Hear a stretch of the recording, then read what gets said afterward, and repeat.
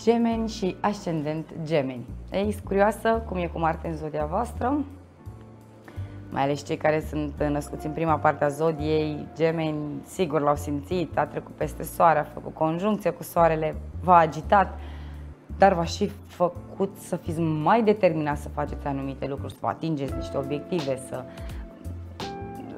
v-a dat, cum să zice, curaj, inițiativă, uh, dar v-a și agitat.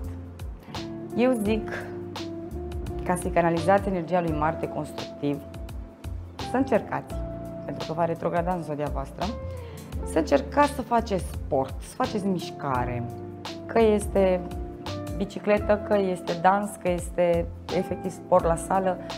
Lui Marte, lui Marte îi place foarte mult mișcarea. Bun, Venus.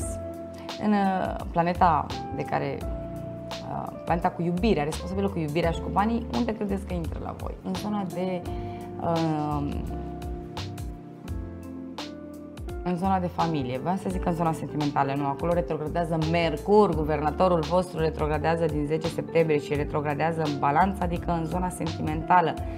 Adică Mercur vrea la întrebări. Da, tu ești fericit? Da, tu ești mulțumit de ceea ce faci? Îți plac hobby-urile tale? Îți place cum îți petrești timpul liber? Dar relația cu copiii cum merge? Dar relația cu persoana iubită e ok?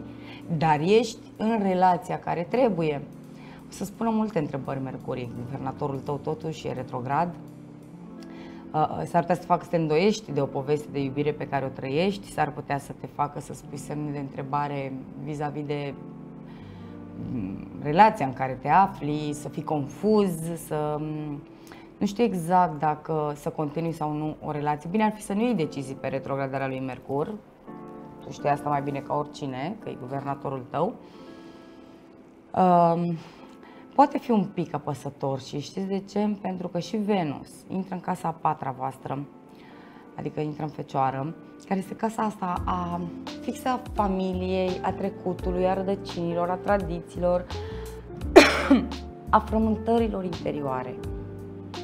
Intrând acolo Venus, ea vine să, da, ea vine, poate să vină pentru un nativ, nu știu, cu o renovare de locuință, cu o nevoie de confort domestic, cu nevoia de a face pace cu familia, uh, de a te întâlni cu părinții, de a-i vizita, de a veni în țară, uh, dacă ești în străinătate, deci da, poate, dar pe de altă parte te, te întoarce puțin și cu gândul la trecut și cu un Mercur retrograd în uh, zona de iubire, s-ar putea să te gândești prea mult la foști parteneri, la ceva ce a fost, niște amintiri așa să nu-ți dea pace.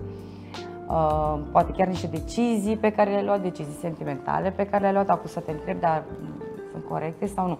Poate chiar decizii legate de uh, copii, de educația lor, de școala pe care o urmează, sau de, efectiv de a deveni sau nu părinte, adică toată zona asta intră sub uh, uh, auspiciile retrogradării mercuriene. Uh, luna plină se petrece în pești, la voi este sectorul cel mai înalt din hartă, este sectorul uh, astrologiei, nu, este sectorul uh, carierei, al imaginii profesionale, al statutului social, și ce poate face o lună plină acolo? Păi, odată că poate încheia o etapă pe care ați deschis-o din punct de vedere profesional în urmă cu jumătate de ani și poate culegeți niște roade, asta înseamnă o avansare, sau poate amplifica niște frustrări profesionale care să vă determine să puneți punct la o situație pentru a porni pe alt drum. Dar, din nou, repet, nu este momentul să luați decizii majore, pentru că nu le vedeți foarte, foarte clar acum da, e Mercur retrograd.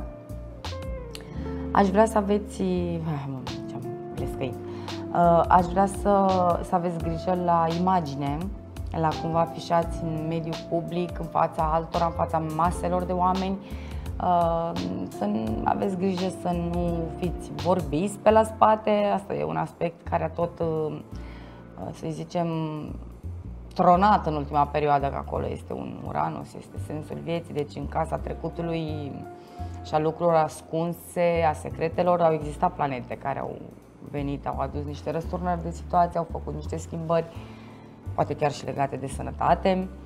Uh, grijă că Marte în zodia voastră în retrogradare poate să scoată la suprafață niște probleme de sănătate care Marte este cu operațiile, cu intervențiile chirurgicale, cu accidentele, cu loviturile, deci grijă, da? Uh, dacă vă doare un os, ia vedeți care e treaba cu el. Bun. Uh, da, uh, tot luna asta plină, pentru că este în conjuncție cu Neptun, vă poate ajuta să vedeți că aici se luminează sectorul ăsta de viață, vă poate ajuta să vedeți dacă nu cumva ați avut aspirații prea înalte, dacă ați sperat la o funcție prea înaltă, dacă ați visat, nu știu, la um, E prea mult spus, dar poate unii nativi trec prin asta. Uh, dacă ați visat la o căsătorie, la mm, oficializarea unei relații, s-ar putea să vă arate acum care este realitatea.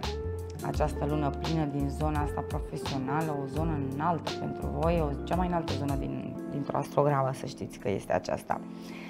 Uh, la fel, încercați să nu vă asumați responsabilități foarte mari, pentru că acum aveți energie să le faceți față, dar dacă le asum, vi le asumați pe termen lung, s-ar putea ulterior să nu le faceți față.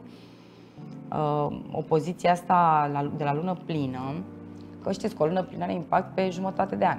Opoziția asta arată că voi aveți nevoie să obțineți un echilibru între zona profesională și zona de carieră, iar acum, în jurul datei de 10 septembrie, s-ar putea să vină niște discuții, familia să vă reproșeze, nu faceți nimic acasă, nu stați pe acasă, vreți dar dacă vine cu o ocazie profesională, trebuie să le explicați.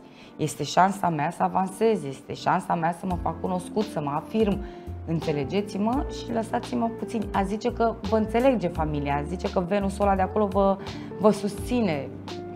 Uh, aveți susținere din partea familiei. Și mai mult de atât, încercați să Uh, reduceți agitația din viața voastră da? prin activitate fizică. Asta ca o uh, linie de, de final.